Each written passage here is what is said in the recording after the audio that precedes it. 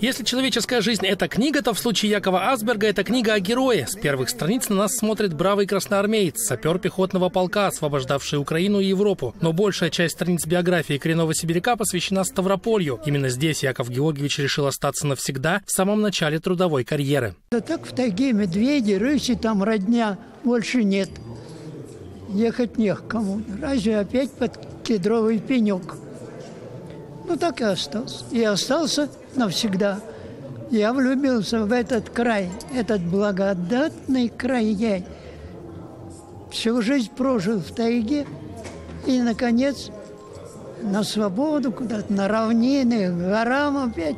В свои 96 Яков Георгиевич в отличной форме. Он художник, поэт, общественный деятель, а теперь обладатель медали за заслуги перед Ставропольским краем. Награду ему вручили губернатор Владимир Владимиров и председатель Думы региона Геннадий Ягубов. Для фотографий на память награжденные на несколько секунд приспускают маску. Без профилактики сейчас не обойтись. При этом губернатор подчеркнул, не проводить торжественную церемонию из-за эпид-ситуации организаторы просто не могли.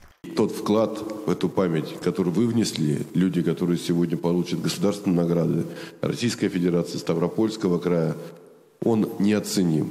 И поэтому никакие угрозы, связанные с пандемией, не могут отменить это мероприятие. И нельзя чураться чем-то, чтобы пожать руку людям, которые делают нашу жизнь лучше и лучше. Лучшие ставропольцы прямо сейчас получают награды в этом зале. Все это люди разной судьбы, биографии, профессии, но объединяет их одно. Все они своим трудом заслужили уважение земляков и внесли важный вклад в то, как развивался Ставропольский край и в то, каким он стал сегодня.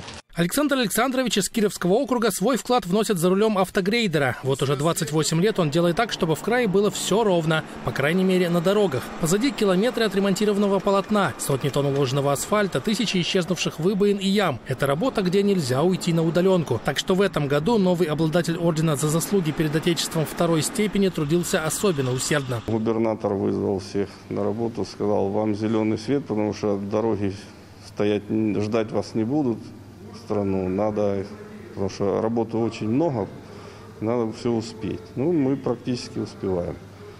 У нас осталось вот до конца ноября, и, наверное, все дороги мы в этом году по плану губернатора сдаем. Новые звания получили не только отдельные ставропольцы, но и целые населенные пункты. Село Богдановка и хутор Суншинский теперь официально именуются рубежами воинской доблести, а село Ачекулак – населенным пунктом воинской доблести. Была проведена очень большая работа, и поисковая, и военно-патриотическая. Работали наши историки, краеведы.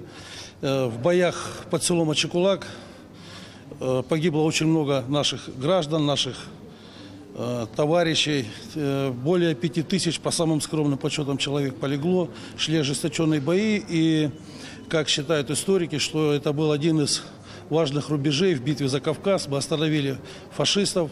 Всего награды получили 25 жителей региона – врачи, строители, дорожники, ученые и культурные работники. После церемонии они разъехались по своим территориям. Медали и грамоты наверняка займут почетное место в их домах и квартирах, как сами они заняли почетное место в прошлом и настоящем Ставрополье.